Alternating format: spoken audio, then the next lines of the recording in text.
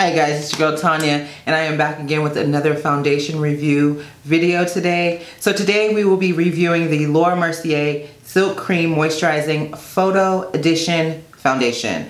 Um, this baby does have a price point of $48 and if you are interested and you want to see how this foundation works on over 40 skin, continue to keep on watching. All right, so let me just tell you a couple things about the Laura Mercier Silk Creme um, Moisturizing Photo Edition Foundation. It is a cream foundation um, and um, it says to shake well. It has a price point of $48, so it is in the, um, very much in the high-end luxury um, brand Laura Mercier. I love Laura Mercier powder. Um, I've always used that. So this foundation is a full to medium coverage. It is for normal to dry skin. The finish on it is satin, matte, radiant, natural. Um, and the description of it is a hydrating 12 hour wear foundation that remains comfortable on the skin.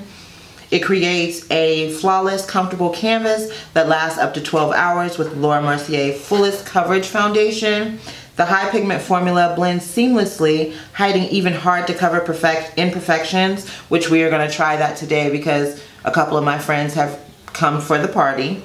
Um, it is naturally luminous, radiant finish that is ideal for selfies, photos, videos, and special events and everyday wear. Um, color true pigments virtually disappear on the skin for a smooth, even application and blending. So, I am excited to try this. Like I said, it does have a price point of $48, which is a little on the pricey side, but you know, your girl, how your girl does. I'm gonna use a beauty blender to um, apply this foundation today, but um, first I'm gonna spray my face with a little Caudalie um, elixir.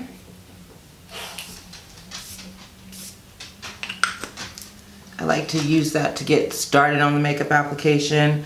Um, for primer, I'm going to, I want something that's going to keep it kind of glowy. I'm going to use the MAC uh, Strobe Cream. Pink Light, yeah. Actually got too much. But my skin is pretty dry, so this is why I decided to go ahead and use this because it's going to give it extra little bit of hydration to our skin as well. We're gonna give this foundation a, a good shake here. Like I said, I'm gonna use my Beauty Blender um, to apply it today. Did about maybe two little squeezes. It's probably too much, honestly. Oh, I'm in the shade uh, Nutmeg. And did I tell you guys how many shades they come in? I don't think I did.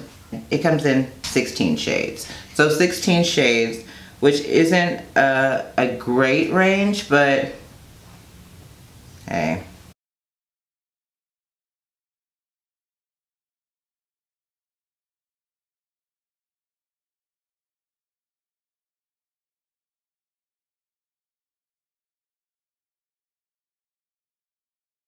This shade might be just a little bit too dark for me right now.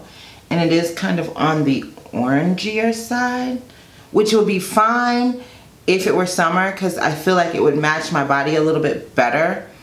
Um, it did cover up that redness. Um, and it's not going to cover up the the pimple. But what I want to do is I have a little bit of hyperpigmentation here around my mouth area. So I want to just dab a little bit more right in that area there. But overall the foundation doesn't look bad. And I think on I think on camera it does transfer pretty well. Um, everything just looks nice and smooth. So I'm gonna finish the rest of my makeup off camera and then I will be back to give you my overall thoughts on the Laura Mercier Silk Creme Moisturizing Photo Edition Foundation. I'll be right back.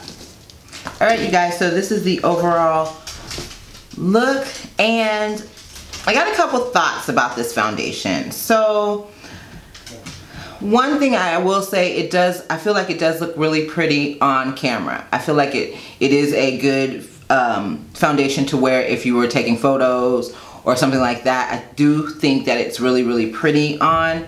Um, one thing I will say, it does transfer. And I said it. So, um, as far as it having a natural finish, I don't think that it's, I, I feel like it's like a demi matte more so than natural. Um, because natural kind of gives you that still that skin glow and I don't feel like I have that skin glow with this foundation. I don't feel like it's super glowy like I expected it to be because it says in there that it gives that radiant look so I don't really see that. But overall on camera it looks it looks fantastic.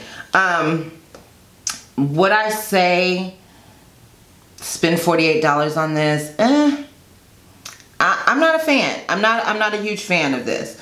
Um, I, it, foundation that I love to wear that looks really great on photos and looks good on the skin overall as a whole is definitely the MAC um, Studio Fix. I love that. I will never stop using it. I continuously buy it because that's something I love to wear and on found um, in pictures. But this, mm, I don't know. I don't know if I would repurchase this. Like I'm going to keep it and I'm going to continuously wear it just to see throughout the summer. But I don't know if this is something that I would definitely repurchase. I would get a sample and try it first if this is something that you might want to try. Um, I would try it first to see how it works out for you and then purchase it because $48 is not chump change. So I don't think I'll be repurchasing it though. So Thank you guys so much for watching. If you are new here, my name is Tonia and I do makeup reviews for women over or people over 40. Um, we would love to have you in the Tonia family. So if you don't mind, if you just hit that subscribe button and also hit the bell, that way you'll be notified whenever I put up new content. I hope you guys are staying safe and healthy and all of that. And I love you guys and I will see you in my next one. Peace.